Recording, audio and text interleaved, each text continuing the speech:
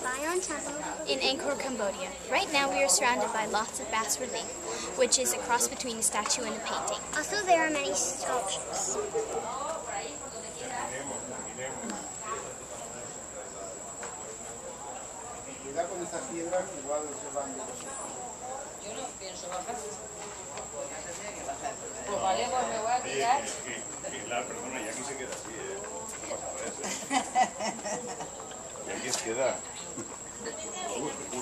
Bani, Bani. No, ya. Bani. ¿Eh?